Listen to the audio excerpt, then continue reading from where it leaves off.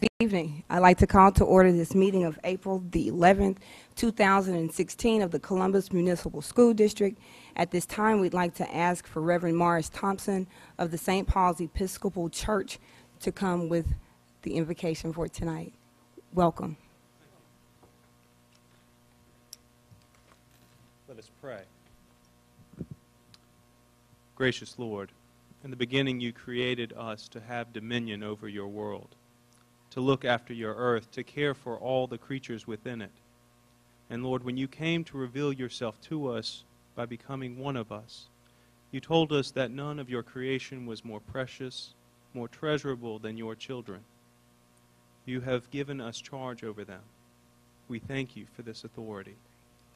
We ask that you bless this board with insight and integrity, that they may serve your children with wisdom, that their decisions may reflect what is right and good.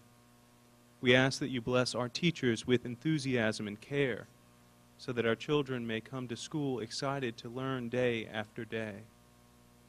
We ask that you bless our parents with patience and love, that our children may be nurtured in homes full of encouragement and support. Finally, we ask that you bless our children with ambition, so that they may learn how to succeed in this world. And when they fail, as we all do, bless them with the resolve to not give up. We ask all these things through the one who never gave up, gave up on us, your Son, Jesus Christ. Amen. Amen. Thank you, Reverend Thompson. Thank you. Will we all please stand for the Pledge of Allegiance? Attention, salute, pledge. I pledge allegiance to the flag of the United States of America and to the republic for which it stands, one nation, under God, indivisible, with liberty and justice for all. At this time, Board, we do have a quorum, so we are able to move forward with conducting business tonight. That brings us now to open forum. We do have one person who has signed up for open forum, Ms. Mona Vance Ali from the Columbus Public Library Archives. Welcome. Hi. Hi, good evening. Good evening. Um, my name is Mona Vance Ali, and I am with the Columbus Lowndes Public Library. I'm the archivist there. And I am here before you all today um, because we had discussed several months ago the transferring of historically significant documents from the Columbus City School um, central offices over to the archives. And at that time, we had discussed having an inventory created and afterwards, that inventory was created and therefore sent to you all. And I'm here today to answer any questions that you might have about the inventory and also to get that approved so that we can move forward with actually transferring those documents to the archives. All right, Board, do we have any questions? I do. I have one. Mrs. Fisher? Thank you very much, Ms. Vance, for all of the work that you, you've done and everything that you've um, defeated in terms of all that dust and those historical documents. I did have one question regarding um, copies of things. I think I mentioned to the board when this was first proposed um, that I wanted to know whether or not we had backup copies of certain documents where they're unique and there's only one copy available. Now, you're asking if I know whether you have copies? No, if, If we if, should make copies? yes.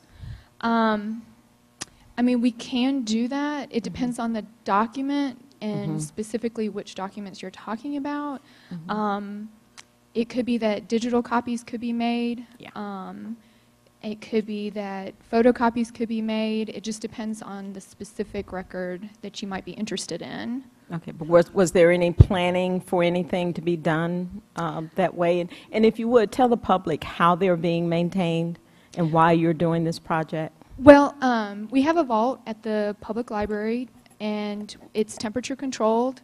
Um, and it, we also maintain um, specific uh, rigors such as no light.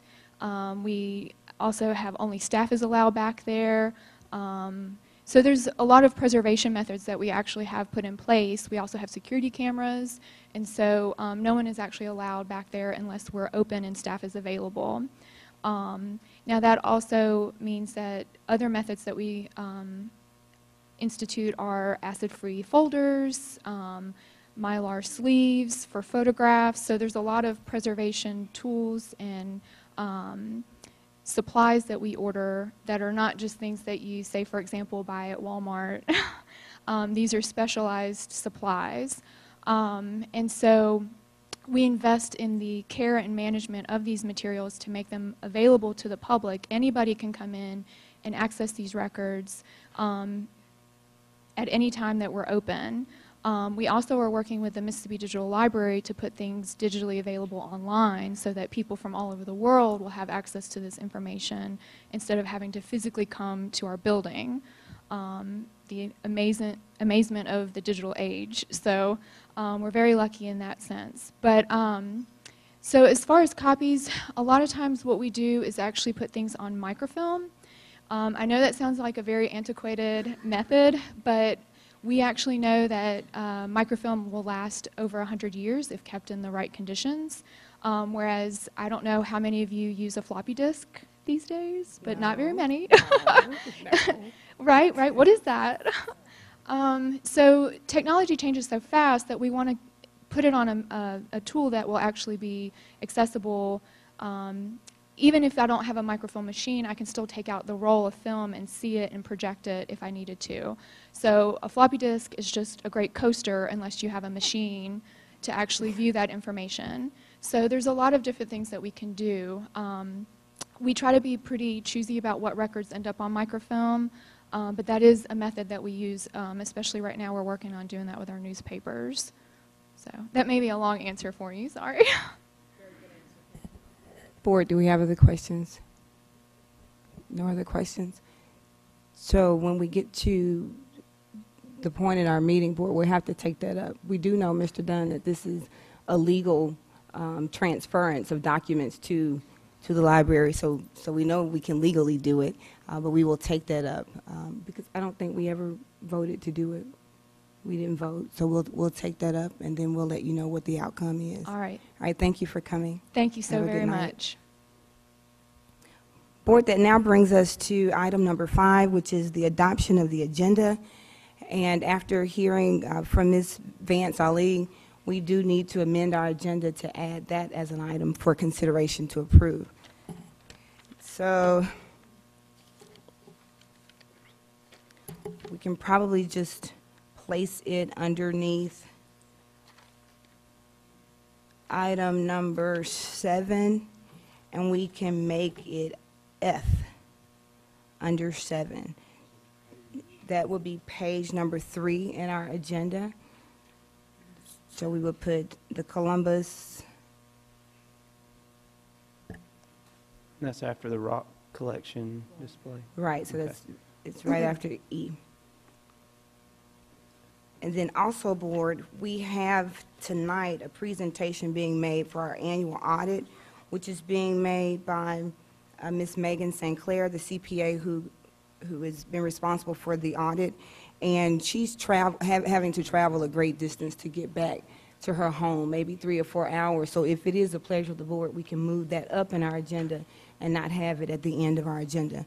If that's the case, then we will make that item number G under, letter G under item seven as well.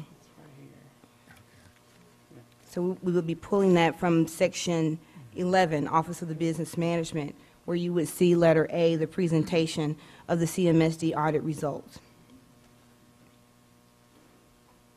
I was looking at the paper copy of the agenda, and it doesn't quite match, and so I was lost on the Ms. Vance issue. Would you please repeat where we're placing? Sure, we're going to place that underneath item number seven, which is under the Office of the Superintendent, and we will make that letter E, well, F, F is in Frank.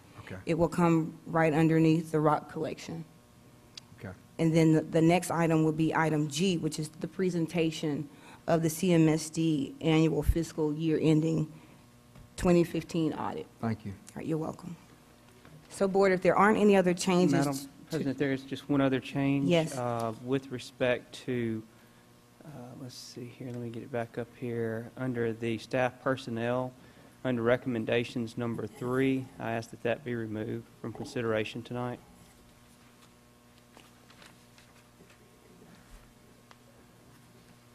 Would, Madam President, would you ask him to repeat what he just said as far as Yes, uh, location? Mr. Spears, will you Yes, repeat that? under one? the I'm staff looking. personnel recommendations tonight, I ask that number three listed under recommendations uh, be removed from tonight's consent agenda, I mean, from uh, tonight's agenda for consideration. Okay, so you're actually on the personnel agenda, Correct, item number three, correct.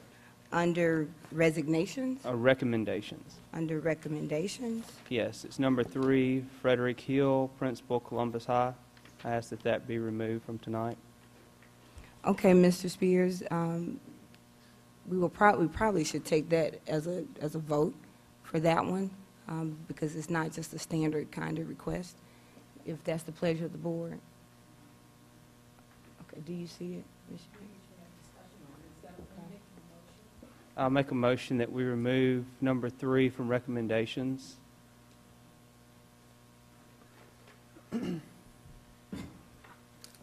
So Mr. Spears has made the motion to remove uh, that item uh, from the personnel agenda. Is there a second?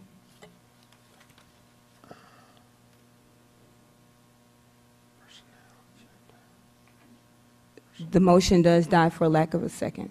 You didn't call for it? You got to call three times. Is there a second? Okay, it has been motioned I'll and second. second. It's been motioned by Mr. Spears. It has been seconded by Mrs. Schumake. Is there discussion? Yes, ma'am. Yes.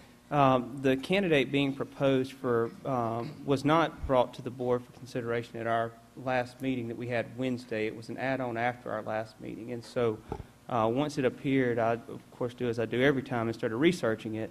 Um, This particular individual being presented uh, has numerous problems that would be brought to our district. One uh, being the fact is that he uh, basically uh, was run out of Natchez School District uh, based off the fact is that he was um, bullying personnel, and this is not the court of public opinion. This was in September of 2015. A judgment by, by um, the courts said that he uh, discriminated against other personnel, and that was uh, proven in a court of law, not Jason's opinion.